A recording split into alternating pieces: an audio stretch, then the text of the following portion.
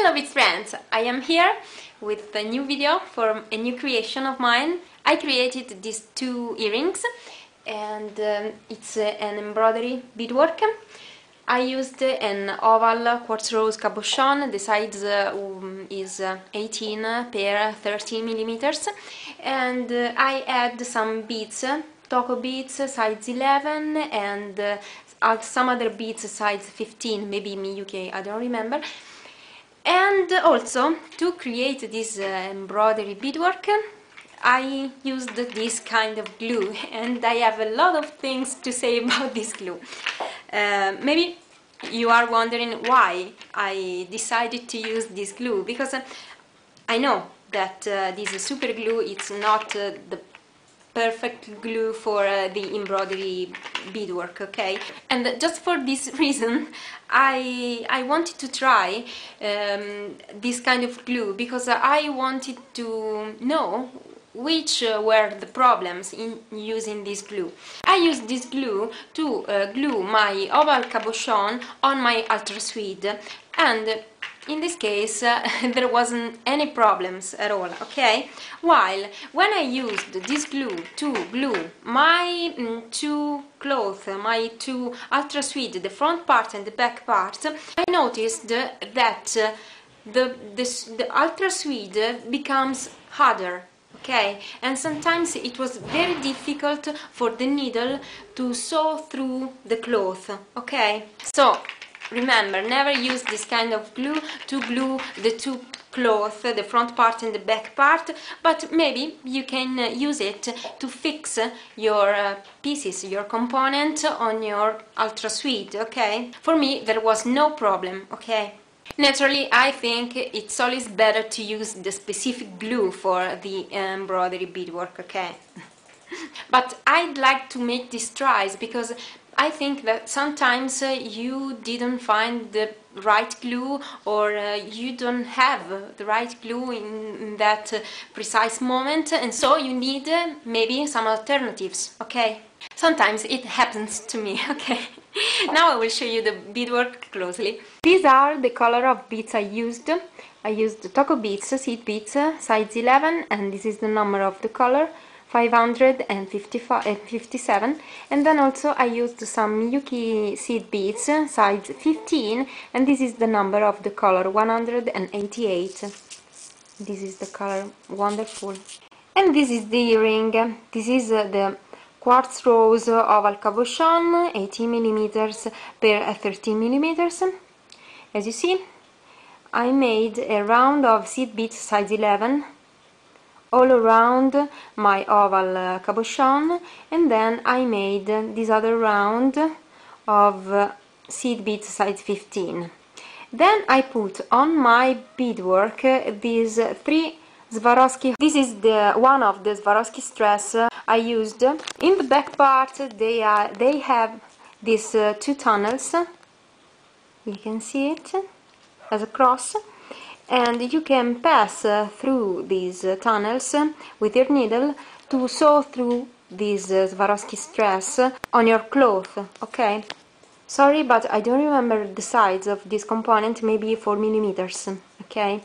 So, as you see, I saw these uh, three Swarovski strass, size maybe 4 millimeters, and then I surround these uh, three Swarovski strasses with uh, some gold seed beads size 11, and then also I made another round of seed beads size 15. That's because um, I didn't fix the um, gold beads uh, size 11 to the Swarovski strass, okay? But I saw the seed beads size 11 uh, to the cloth to the ultra suede okay? And so I really needed to make this other round because if you fix uh, the beads to the ultra suede you can see the, mm, the set of uh, the Swarovski strass okay. I don't know if it's if it's clear but if you saw the Swarovski strass on the cloth and if you saw the beads all around the Swarovski strass on the cloth too you can see the set of the Swarovski strass. You can see the metal parts of the Swarovski strass and they are very horrible believe me. Or try it if you don't believe me.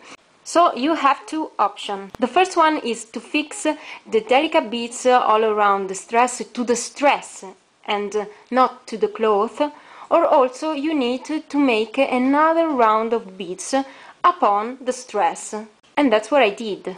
So after completing this uh, part with the Swarovski strasses and with the quartz rose oval cabochons, I made another round of delicate beads size 11 all around my work and then I put on the back part of my embroidery work another piece of ultra suede. And before putting my piece of ultra suede I put this post, this finding on my work, okay? The last step was making another round of seed beads size 15 here they are all around my work to define the edges of my work okay and that's all. It's very simple but I like this style.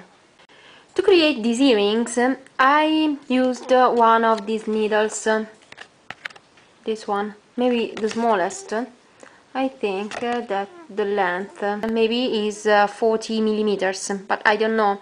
But they are smaller than a John James size uh, 15 millimeters. Okay, I think that this this needle is stronger and harder than the John James size 10 and very more other and strong than John James size 12 but uh, I think that the diameter of this needle is bigger than a John James size 10 and I'm saying that because before using uh, seed beads size 11 I was trying to use uh, Charlotte beads size 13 and uh, many times this Miyuki needle broke my Charlotte beads and so I think that concerning the diameter, this uh, Miyuki needle is bigger than a John James size 10, okay? And so this is my first opinion about these uh, Miyuki needles. You have to consider that um, while I was working uh, for creating my earrings,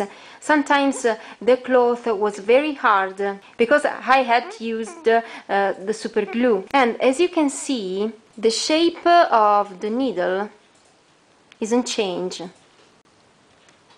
Yes, it's a little bit curve, but uh, if you consider how much I stressed this needle, it's nothing, okay? I hope that everything was understandable. I see you soon on the next video. Bye bye!